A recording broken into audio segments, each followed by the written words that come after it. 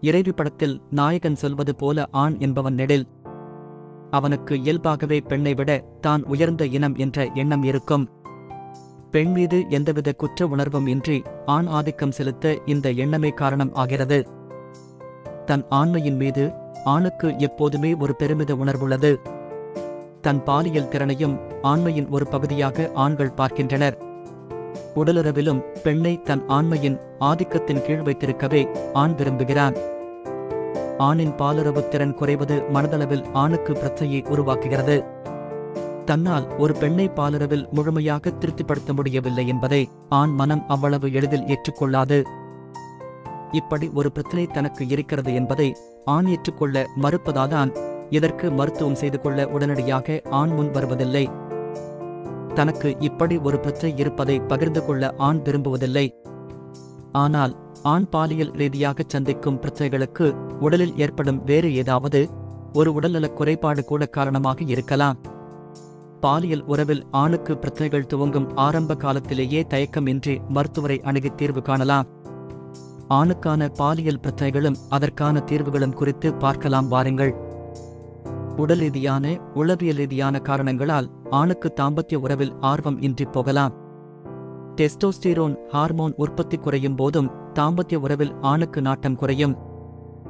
ஆணுக்கு ஏற்படும் பதற்றம் மன அழுத்தம் சர்க்கரை நோய் இதய நோய் நரம்பியல் பிரச்சனைகள் சிறுநீரகப் பிரச்சனைகள் இப்படி பல காரணங்கள் இருக்கலாம். பருவம் அடைந்ததில் இருந்தே கூட சிலருக்கு ஆர்வம் குறைவாக இருக்கும். இவர்கள் மருத்துவரிடம் ஆலோசித்து காரணத்தை கண்டறியலாம்.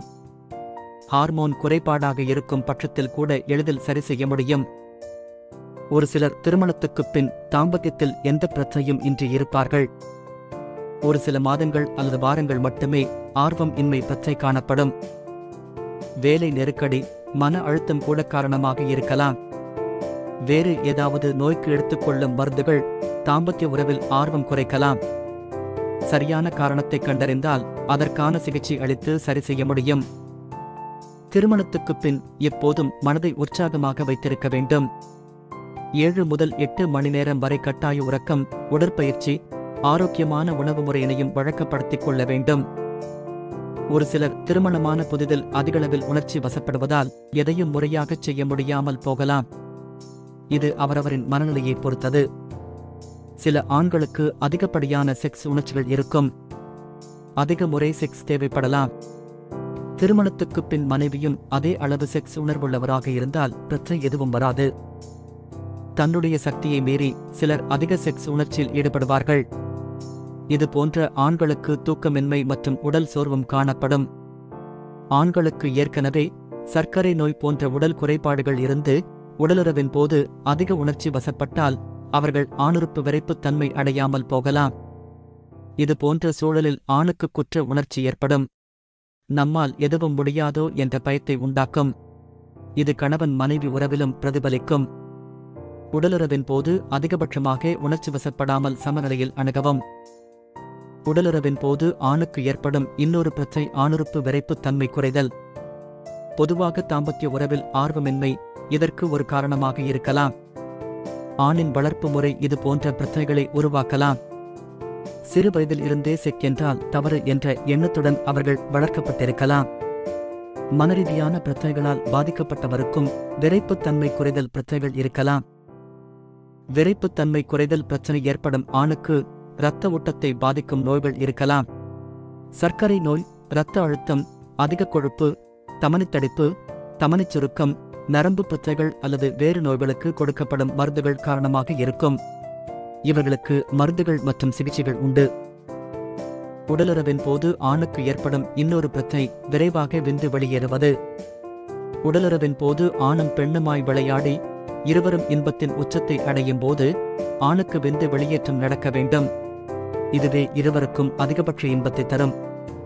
ஆனால் ஆணுக்கு சில நேரங்களில் இதற்கு முன்பாகவே விந்து வெளியேற்றம் நடப்பது உடலுறவில் பிரச்சனையாகத் தோன்றும்.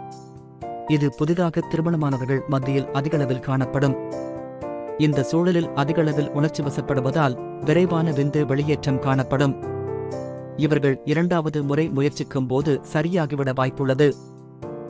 வேறு சிலருக்கு அதிக கைப்பழக்கம் இருந்தால் உடலுறவின் போது விரைவான விந்து வெளியேற்றம் காணப்படும். விரைப்புத்தன்மை குறைவாக இருப்பவர்களுக்கும் இது போன்ற பிரச்சனைகள் ஏற்படலாம். மருந்துகள் மூலம் இது போன்ற பிரச்சனைகளை சரி செய்ய முடியும். சத்தான உணவின் மூலமே கூட இப்பிரச்சனையை தீர்க்க முடியும். பாலுறவில் நான் பர்ஃபெக்ட் எனக்கு எந்தவிதமான ஆண்மை பிரச்சனையும் இல்லை என்ற திருப்தியை ஆண்கள் விரும்புகின்றனர். தாம்பத்திய வாழ்வில் உண்டாகும் சின்ன சின்ன குறைபாடுகள் இருவருக்குள்ளும் மன ரீதியான அழுத்தங்களை உருவாக்கும். பெண் இதை வெளியில் காட்டிக் கொள்ளாவிட்டாலும் இவள் நம்மை பற்றி என்ன நினைப்பாள்? மதிக்காமல் நடந்து கொள்வாளோ? நம் குறையை வெளியில் சொல்லி விடுவாளோ? இல்லை தாம்பத்திய இன்பத்துக்காக வேறு துணையை நாடுவாளோ? என்பது போன்ற கேள்விகள் ஆணின் மனதுக்குள் ஏற்படும் போது மனைவியை சந்தேகப்படும் நிலைக்கு ஆண் தள்ளப்படுவான். இது இருவருக்கும் இடையிலான உறவை பலவீனம் அடைய செய்து வாழ்வை நரகம் ஆக்கும். உடலுறவில் ஆணுக்கும் பெண்ணுக்கு முழு திருப்தி அவசியம். ஒருவரை ஒருவர் இன்பத்தால் மூழ்கடித்தோம் என்ற எண்ணமே அவர்களுக்கு இடையில் எல்லையற்ற அன்பையும் பிணைப்பையும் ஏற்படுத்தும். உடலுறவின் போது குறைந்தபட்சம் பெண்ணுறுப்பை பெனட்ரேட் பண்ணும் அளவுக்கு ஆணுறுப்பில் விரைப்புத்தன்மை இருக்க வேண்டும். உடலுறவின் உச்சகட்டமாக அவர்கள் பரவச நிலையை எட்ட வேண்டும். இந்த பரவச நிலையில் பெண்ணுறுப்பில் விந்து செலுத்தப்பட வேண்டும். இதற்கு மேல் உடலுறவில் ஈடுபடுவதென்பது ஒருவருக்கு ஒருவர் மாறுபடும். சில ஆண்களுக்கு தனது விரைகளில் முன்பை விட சில மாற்றங்கள் தென்படத் தொடங்கும். ஆரம்ப நிலையில் இதை கண்டு கொள்ள மாட்டார்கள். அதன் பின் பெரிய அறிகுறிகள் ஏற்பட்டதும் இதை பற்றி யாரிடம் கேட்பது என தயங்கி நிற்பார்கள். இதற்கான சிறந்த நபர் உங்கள் மருத்துவரே. உடலுறவின் போது விரைப்பு இல்லாமல் பிறப்புறுப்பு சிறியதாகவே உள்ளது. இதனால் எனது துணையை திருப்திப்படுத்த முடியவில்லை என பல ஆண்கள் மன உளைச்சலில் புழங்கியுள்ளனர் இது போன்ற நிலை உங்களுக்கும் இருந்தால் சற்றும் தயங்காமல் மருத்துவரிடம் கேட்டுவிடுங்கள் பல ஆண்களுக்கு தாம்பத்திய வாழ்வில் பிரச்சினை உண்டு. இதில் இருக்கக்கூடிய முக்கிய பிரச்சனையே உறவில் நாட்டம் இல்லாததுதான். இதை தனது துணையுடன் கூட தெரிவிக்க மாட்டார்கள். இது போன்ற நிலை உங்களுக்கு இருந்தால் மருத்துவரின் ஆலோசனை பெறுவது அவசியம். ஏனெனில் இது உங்கள் வாழ்க்கையை நரகமாக மாற்றிவிடக்கூடும். தனது பிறப்புறுப்பில் ஒரு விதமான நாற்றம் ஏற்பட்டால் அது உடல் நலத்தில் குறைபாடு உள்ளதை குறிக்கிறதா? பல ஆண்கள் இந்த கேள்வியை கேட்க அதிகம் தயங்குவார்கள். பிறப்புறுப்பில் துர்நாற்றம் அதிகமாக வீசினால் ஈஸ் தொற்றுகள் ஏற்பட்டுள்ளதை உணர்த்துகிறது. எனவே தயக்கம் இல்லாமல் மருத்துவரின் ஆலோசனை பெறுவது அவசியம். உடலுறவின் போது ஆண் ஒரு ரோபோவைப் போல இல்லாமல் ரொமாண்டிக்காக அணுகலாம். அளவில்லா அன்பும் காதலும் உடலுறவின் போது ஆண் பெண்ணிடம் வெளிப்படுத்த வேண்டும். இந்த பொழுதில் சின்ன சின்னங்களும் பல அர்த்தம் தந்திடும். துணையுடன் அதிக நேரம் உடன் இருக்க வேண்டும். அவர்களுக்கிடையே உள்ள டென்ஷன் மறக்க வேண்டும். உற்சாகம் குறையாமல் துவங்கி இயங்கி முடிந்த பின்னும் முடியாதது போன்ற எண்ணத்தை ஏற்படுத்த வேண்டும். இதற்கு ஏற்ப ஆண் தன்னுடலை ஹெல்த்தியாக பராமரிப்பது அவசியம். உடலுறவின் போது முழு திருப்தியை எட்ட துணையுடன் மனக்கசப்பு இருக்கக்கூடாது. சர்க்கரை நோய் இரத்த அழுத்தம் உள்ளிட்ட நோய்கள் வராமல் பார்த்துக் கொள்ள வேண்டும். இது போன்ற பிரச்சனைகள் இருந்தால் உரிய சிகிச்சைகள் எடுத்துக்கொள்ள வேண்டும். உடலுறவில் திருப்தியாக உள்ளவர்களின் ஆயுளும் அதிகமாக இருக்கும். நீண்ட ஆயுளும் அன்பும் உங்கள் வாழ்வை இனிதாக்கட்டும். பாலியல் குறைபாடுகளை ஆண்மை குறைபாடாக எண்ணாமல் துவக்கத்திலேயே சரிசெய்து உங்களது இணைய இன்பத்தில் மூழ்கிடச் செய்யுங்கள். உங்களால் முடியும் நம்புங்கள்.